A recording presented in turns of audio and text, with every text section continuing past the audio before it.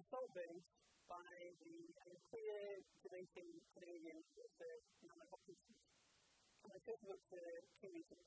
Firstly, um, this is to be a fantastic read, as a genre-defining novel going on sci-fi, the physical realism, Afro-Caribbean, and so forth.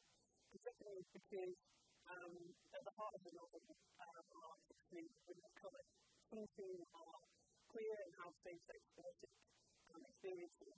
And I think um, whilst it has kind of narrative um, brilliance, it also um, sort of centralises uh, a very diverse depiction of race